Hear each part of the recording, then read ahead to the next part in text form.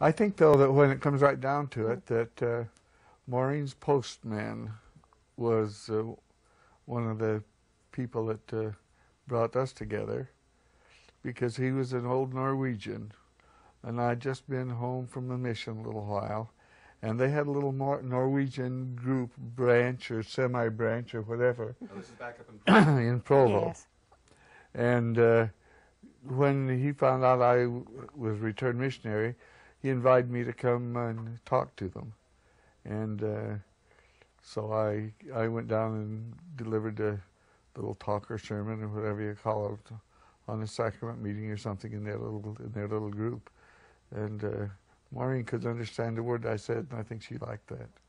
No, uh, it was an important milestone, though, because that was right at the time that he'd been teasing me so unmercifully, and I told my roommates I wasn't going to go with him anymore because I spent my full time, um, You saw another side.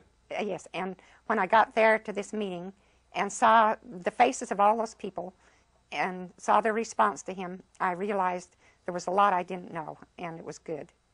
And so I decided, um, let's not be hasty here.